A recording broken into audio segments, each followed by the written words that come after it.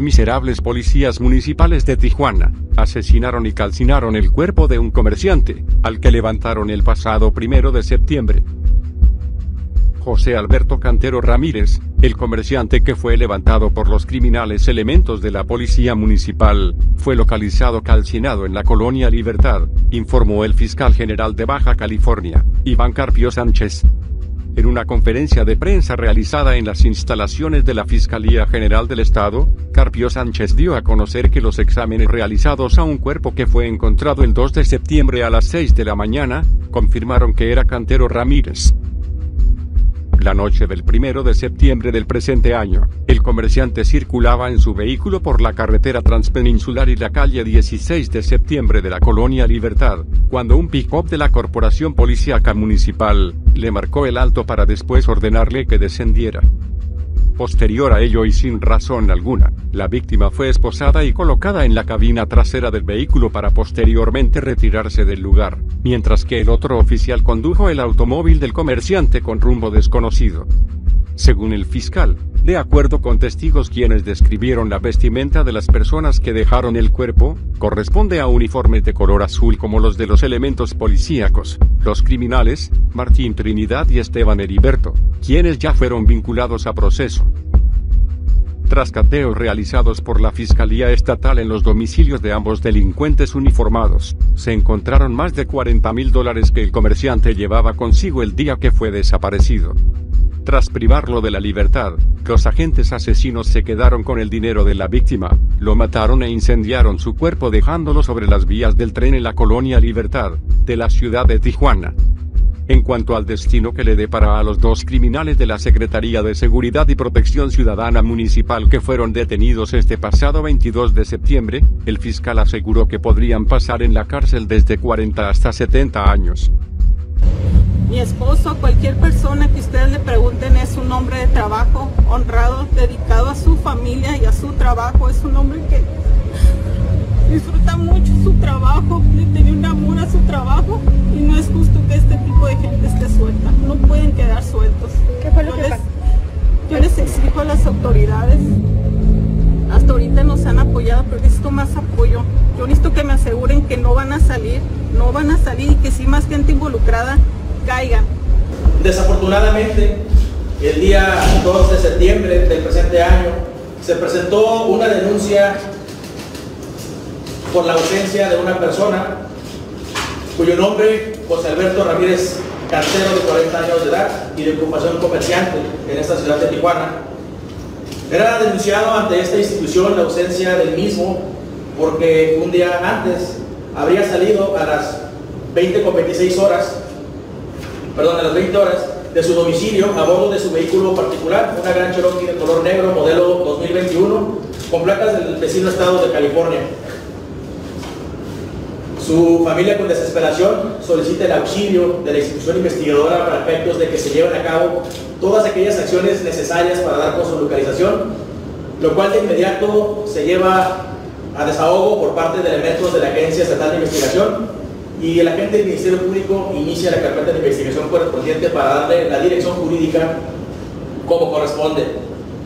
Las investigaciones derivaron en que se determinó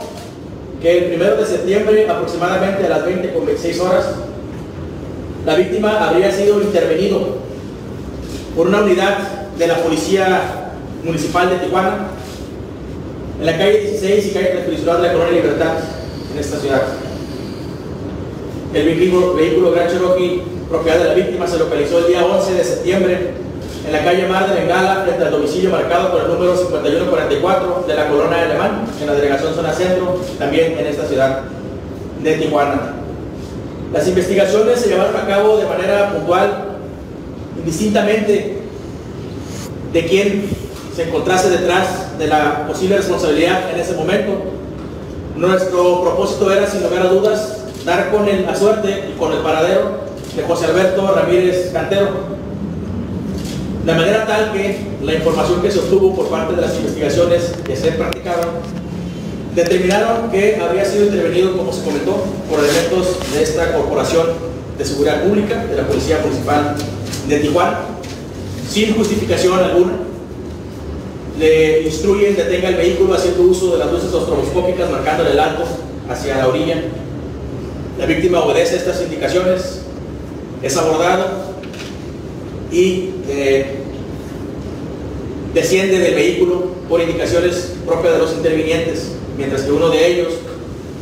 le indica que abra la cajuela, mientras sigue revisando a José Alberto, el otro revisaba el vehículo.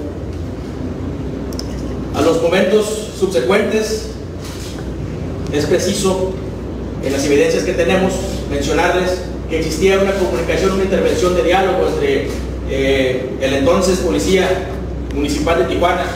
y el hoy víctima José Alberto Ramírez Cantero y sin mayor razón alguna aparente le es colocado las esposas entre sus manos y es de forma ilegal privado de su libertad. Es conducido hacia el interior de la unidad eh, patrulla, eh, la cual en vez de estar cometiendo ese tipo de comportamientos debería estar haciendo lo necesario para cuidar, proteger y defender a los demás. Nosotros reconocemos sin duda y apoyamos el trabajo de todos y cada uno, de todas y cada una de las mujeres y los hombres que de manera digna y honrada portan un uniforme. Y siempre respaldaremos con nuestro trabajo el suyo. Sin embargo, es importante también mencionar el compromiso que tenemos para que cualquier persona que sea desleal a las mismas razones que nosotros en cualquier institución, pues hacer, aplicarle el derecho justo como corresponde, de manera tal que se obtuvo orden de aprehensión por el delito de desaparición forzada en contra de los que hoy sabemos son dos elementos de la Policía Municipal, de nombre Martín Trinidad N y Esteban Heriberto N. De forma estratégica también se habían obtenido las órdenes de cateo para el ingreso justificado y autorizado por la autoridad jurisdiccional en los domicilios de registros de estos dos elementos policíacos, al tiempo que se les cumplimentaba su orden de aprehensión correspondiente conforme a derecho.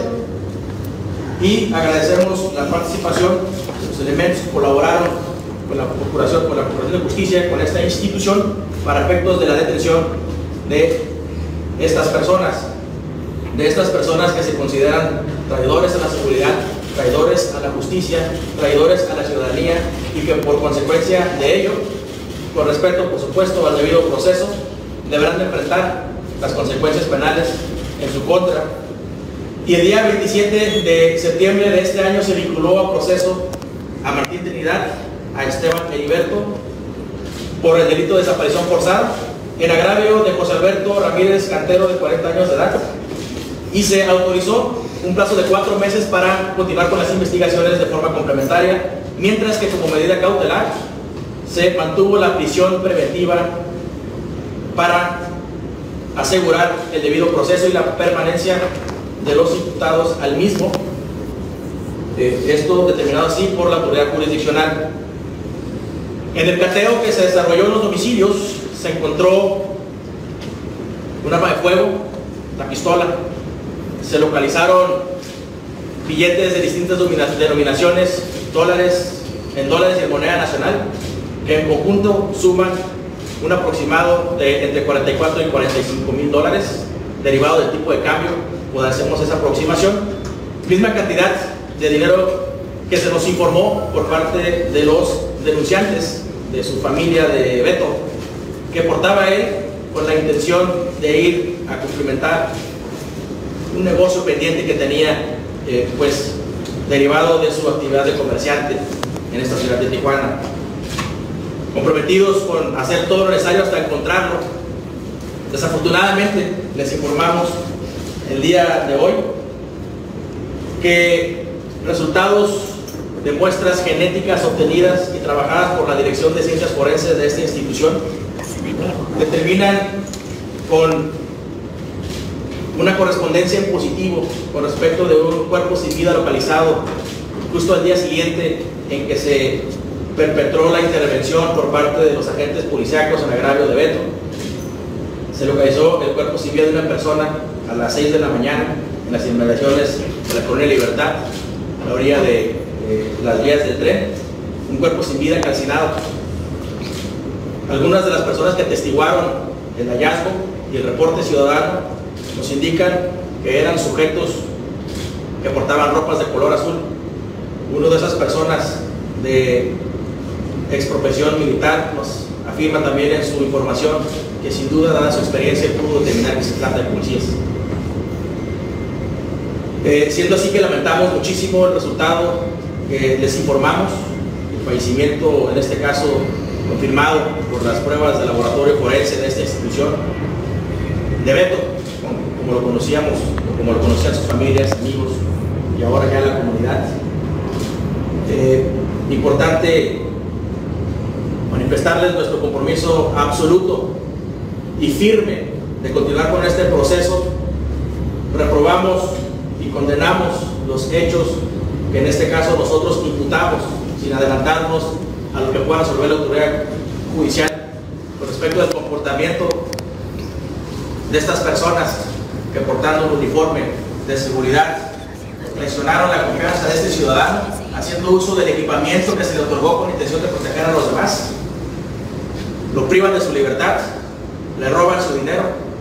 le privan de la vida y no solamente eso, sino que además también lo calcinan con la intención de que no pudiera ser identificado y también con la intención de que los responsables no pudieran sufrir una consecuencia. Bueno, nuestra determinación y nuestra postura al respecto es de que ya se están viviendo las consecuencias. Insisto,